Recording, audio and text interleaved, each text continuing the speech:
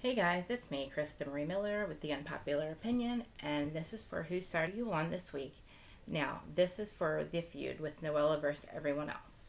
So I had this pinned, and then originally I thought that OC was going to air last night, and it did not because we had the Vanderpump reunion. However, I'm still going to do this one, um, and what I'm doing is I'm going to have two people on with us tonight, um, George Carolina and Kristen the Math Nerd. Um, but right now, what I want to do is just do my opinion with Noella because first I'm going to address Noella versus everyone else. Now, this is what Emily Simpson just said in an interview with Us Weekly. And there's a lot of he said, she said going on right now. Yeah. Are you About the divorce with sides Noella. and you know who's kind of like who do you believe? That's a that's a difficult question because in the beginning when I first met Noella, I was very very much on her side and believing was her because I had nothing to compare it to. Right? He's not on the show. He's not giving his viewpoint. So the only thing I have to go by is you know what she's telling me, and of course I want to support her and be a friend to her. Um, now that all this stuff is coming out and he's releasing statements and his attorneys are releasing statements, I will tell you, as an attorney, I jump all over that stuff. Hmm. I read all of it, I listen to it, I decipher it, I go back through Kinda what messy, she right? told me on what dates. Emily. I make timelines, so I will tell you, I can blow holes through a lot of things. Wow. I'll just leave it at that. Yeah. What do you think? She told me recently that she's basically squatting in her ten thousand Squatting. Square foot mansion. I Well, mean, first of all, who calls their house a mansion? Right. Let's go there. Like, what is this? Does she have a moat? Is there a dragon? Like, I don't understand. Like, why does she have to say mansion? Real quick, Emily, a moat is when you have, like, and a dragon is when you have a, like, a castle. Not a mansion, honey. Not a mansion. That, a castle has a moat and a dragon, honey. But whatever. What do I know? But secondly, as far as what I read from documents, the lease was up. So if, and I don't know what, what their financial arrangement was. Maybe he was more financially obligated to pay the length of their lease, and then that was it. So I don't know if she's Separated means illegally divorce means you don't have to pay for it anymore. Should find somewhere else to live. Maybe, Yeah. she, maybe not a mansion. right. Do you think it's Or fair castle. for her to, you know, because she had this really, in this upcoming episode, she has this really awkward conversation with Heather about calling her like a phony bitch or fake Oh, bitch. yeah, that- I did watch that. I did watch that. Right, and it's just like, do you feel like she's kind of using her divorce almost as an excuse now to kind of say mean That's where I'm going about with this. people? Well, it's interesting that you say that because I do believe that that is kind of an ongoing theme throughout the rest of the season where it's like, yes, we feel badly for you. Like, no one wants you to be in this situation, but you can't, you know, She's be moved the on, by the way. aggressor and be hostile, but then when someone calls Very you out on quickly. being aggressive, go A right month back ago, into by the way. victim mode and I'm going through a lot, you know? So, I mean, I'll be Noella's interesting. She really is because she she has I'm a really very disappointed wide because I love of Noella. So, so there's there's a Okay, lot Emily. there's a lot going on there. There's a lot to unpack there. Have you stayed in touch with her? This is the Us Weekly interview with cameras Emily she does them once a like, week with rolling? the Housewives. Yeah, actually, she she will text a little bit, and I will text back, and you know I don't have any ill will towards her at all, and I do want what's best for her, Okay. and you know Now, um, of course, this like Heather uh, Dubrow thing is ridiculous. Um, Noella, when you walked into walked onto the um, set, I really thought you had this like great energy about you. I thought you would be a positive influence on the group. I thought you would bring like a nice young vibe. You were open, and like you've completely ruined it. Like for me, anyway. So I can't even say I'm on your side, Noella. Um, you come to Cabo. Okay, first of all, you go into Heather's podcasting room and you like blow it all up and say it's like you know she's a narcissist and all that crap like that's ridiculous first of all like that's a little bit of a reach i believe that you decided since or somebody told you to do this that you knew going into this that everybody was going to be kissing heather dubrow's ass. And you were right because they all did and you were going against the grain which is good housewife. I mean that is good housewife stuff to do.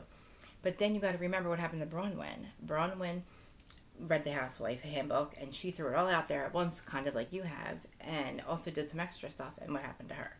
So noella i'm not sure if you're going to be starting to i don't know. I don't know what's going to happen to you but um the thing with heather dubrow and everyone else like you sat at that table so we see next week's episode and admitted about how you talked crap on everybody and you keep blaming it on your divorce but you can't expect these women to want to be friends with you like how you expect heather dubrow to want you in cabo now, housewife talk, yes. As a fan, besides this, as a fan, yes, would I want you to be in Cabo? Absolutely. For housewife drama, absolutely. Do you deserve to be there? No. If I were Heather, I wouldn't want you there either. Like, you know, you can't make somebody want you there, you know? So, but for housewife, yes, obviously. But then we see that when you get there, okay, first of all, you were late. You weren't supposed to be there, okay? You weren't supposed to fly on a, um, a private plane, right? But you were late, and you are, so I don't know what you took, a commercial coach, I don't know, whatever. But you use the excuse that you forgot to get your, um, you forgot to bring your passport because you've been flying private, a private jet for so long, as you have a jet, for so long that you forgot how this common folk thing works, right? Whatever, I call bullshit, but listen, for somebody who's squatting in their house, I don't think you have really fucking goddamn thing to say, okay? Whatever. Then you get to Cabo. You get to the first of all, you're in a car with every Uber driver or driver, and you have to tell them your life story. Nobody cares, okay? Then you get to the house, and nobody's there to greet you. You were late. You didn't call, nothing. You get there. You expect somebody to greet you when you're late, and you've been so disrespectful to the host. Again, get over yourself. You get dressed. Again you're trying to tell the bartenders your life story. Nobody cares your husband left you. Like we cared like three weeks ago when you were nice and then you became a bitch. Um, okay so then you go to dinner and of course you walk in with an attitude and you think everybody's talking about you which they were because they should be but anyway you walk up and you order i don't know would you order food or something? And then the food comes and you don't eat it but you're drinking. And somebody just mentions you to eat and then you think they're food shaming you. And then you like excuse yourself to go to the bathroom with Gina, and then you say that, are you allowed to, or, or, or, Gina, which I don't know why Gina did this, not Gina, Emily said that Heather was upset, or she thinks it's rude that you didn't eat the food, and you take it as Heather Dubrow cares if you eat your food or not, and you're acting again like you could care less, and you think she's thirsty, and you think she's all these things. Thirsty, honey, is when you're doing the things that the housewives do when they read the housewife handbook to stay a housewife. That's what thirsty is, okay? Remember that. Or when you listen to production, that's what thirsty is. That's what you're doing. And then you come back and you have something about eating your potatoes. Like, Bronwyn vibes, Bronwyn vibes, like, whatever. So, yeah, so that's mine. And, oh, and there's, this is the only other thing I find hilarious because I am no fan of Teddi Mellencamp. I don't even know why I just said her name. I call Freddie. Fetch, because she's trying to make it happen. Everybody's trying to make Fetch happen. Kyle tried to make Fetch happen. I don't know how the hell Tamara ended up on her podcast because Teddi's podcast was two T's in a pod. Now Tamara's on there, and now it's making money. And then you get your dad. Now your dad's on tour. John Mellencamp. You put him out on tour again. He's like 80 with Bruce Springsteen, who's like 80, and you're trying to make that happen. Like, and then you're on the podcast, and you admit, okay, so you admit on the podcast that you had to go to therapy when you were let go of the Housewives after what one season as a friend or something, wherever whatever you were. I don't even remember, but um, yeah, you needed to go to therapy because it was like the end of the world to you. And then when Noella makes a comment that, um, you like, wait, what did she say? I know, my life's over, or my when I'm a loser, when I'm I end up in a podcast or something like that. Basically saying when you end up as a housewife of a podcast, you're a loser, and that you know you've lost in life. That's what she said. Now this is coming from somebody who is squatting in their mansion. Okay, honey you have been so desperate to get on the housewife show that you literally made you, your husband left you. Yeah, he had to leave you. So, um, as much as I don't like Fetch, Teddi Mellencamp, I mean, I thought it kind of it was pretty funny that you said that, Noella. That like you know you're losing in life when you get kicked off the housewives and end up with a podcast.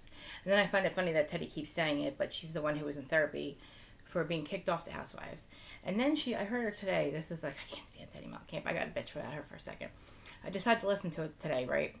And I think she was on, who was she on with? Of course, she was on Tamara, but she was saying something about Noella again. Um. Oh, oh, oh, Vicki was on there. And Vicki at one point, this is a couple years ago, Kate Casey, when she first started, she wanted to interview Vicki. And Vicki said something to the fact that I'll never run a podcast. Like it was, she was way too good for podcasts. Podcasters were losers. Um, they don't get paid, and it's like the lowest of the low. And here now she's on Tamara's podcast and she's fighting with Tamara because Tamara, she's upset that Tamara didn't do a podcast with her first. So now that this bitch gets kicked off the house, kicked off the housewives, Steve leaves her. Now she's on and she's bitching that she wants to do a podcast because she's so desperate to get back on. Now, when you talk about thirsty, you have Tamara, Teddi, and Vicki. So, Oh, and then another thing, like this has nothing to do with whose side you're on, but listen to this. So apparently on the podcast, you heard Vicki and Tamara talking about. She's asking Vicki who was Vicki getting over Steve Lodge, right?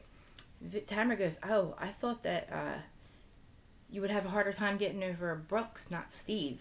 You know, because Steve's so horrible, and I thought you like, uh, you know, Brooks was harder to get over, and Brooks is basically saying Brooks is better than Steve. Tamara's opinion is that Steve Lodge is worse than Brooks somehow. Now I don't know if she's drinking the Vicki Kool Aid, all that Kool Aid that was all over the internet, but she's basically alluding that Steve is worse than Brooks. Brooks is the one who faked cancer, remember? All right, guys. So this is for whose side are you on. I'm gonna attach this to the link for the live that's tonight, Thursday. I don't know the date. Don't even ask. Um, and then I'm gonna have you guys.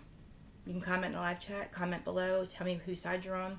We're also gonna also talk about this later each side, and then um, also have some other like podcast stuff to explain. Heather Dubrow once a week explains um, the episode of stuff we don't see, and it explains a lot about Noella and the lies, and it just makes more sense. But I'm not gonna let you guys guess. I'm gonna let you guys listen later and decide.